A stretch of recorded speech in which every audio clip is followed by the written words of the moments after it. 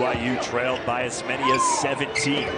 Now Childs gives them the lead. Oh, excuse me. better shooter than we've shown in this early season. Uh, he's recruited by Ohio State, Utah, Arizona State. Playing for UNLV.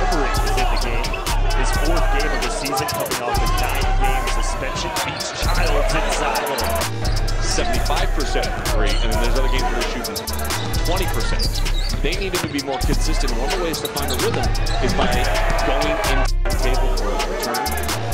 Continue to be reevaluated. Childs on top way again. Attack. Not happy with the no call there as Haws is driving. There's Childs with the right hand. Got his own tip follow and it bounced Ends up beautifully in the absence of Juiston. Back out to a 16-point UNLV lead.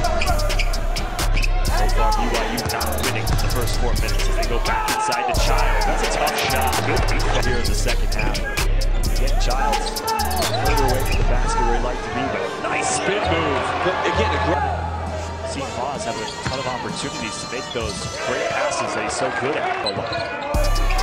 Four on the shot clock as they go ISO to Childs. Using the body. as I anticipated, I'll be honest with you. BYU usually drops straight. Marriott Center is one of the best environments in basketball. I love going there. Pick and roll. Childs with the left again. BYU trailed by as many as 17. Now Childs gives them the lead. Oh, excuse me. There you go. Backing in. Jump hook for Childs. Easy does it by two. The mismatch. Childs, triple team, good foul. BYU trailed by as many as 17.